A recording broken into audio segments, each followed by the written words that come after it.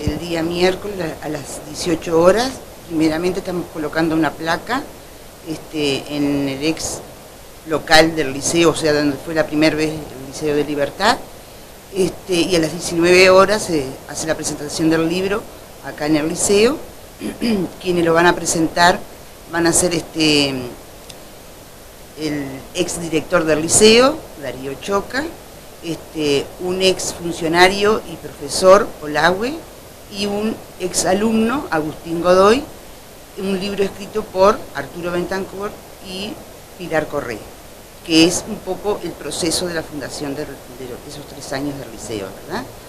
Este, bueno, invitamos a toda la comunidad, el liceo es lo que espera, que la comunidad se acerque, este, estar abierta a ella y, bueno, mañana cuando vengan de colocar la placa,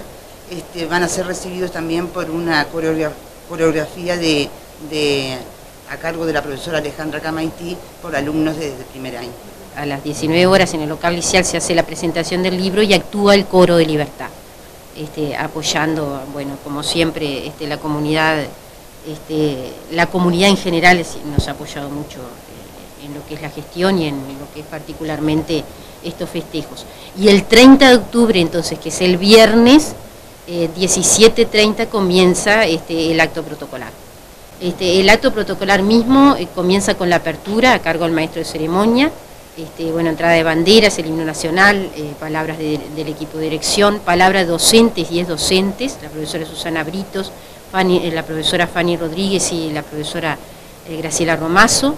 palabras de, de, autoridades, la actuación del coro licial, la canción del liceo interpretada por alumnos, de la institución, Rogelio Ramenchi y Elías Mijailovich, eh, la actuación del grupo coreográfico del liceo también, integrado por alumnos de segundo y tercero, este, eh, a cargo de la profesora Alejandra Camaití,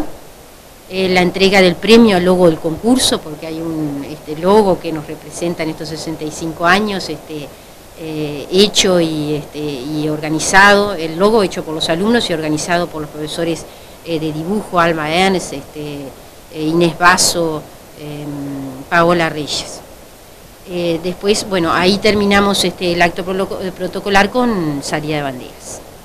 Y después hay un pequeño acto cultural, este, también eh, apoyado por este, la comunidad de Libertad y por la alcaldía local, este, que es, este, bueno, en el caso de la comunidad de, Libertad nos apoya el grupo coreográfico Activarte de, de Libertad, este, dirigido por la profesora Carolina Sartora, Sartore, perdón,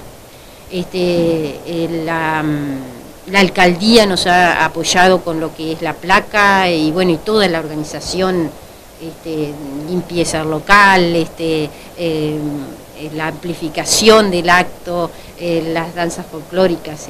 que, nos vienen a acompañar después de, la actuación del grupo coreográfico y una banda de este, ex alumnos de la, de la institución que se llama Banda San Palito este, que toca como finalización del acto. Y queríamos, este, uno de los em, de las este, pautas para la organización de, la, de, la, de los festejos y de este acto protocolar por parte de la Comisión de los 65 años es que estuviera el acto protocolar conformado por este, la comunidad de libertad, o alumnos, o exalumnos, o gente de libertad que tuviera que ver con lo cultural.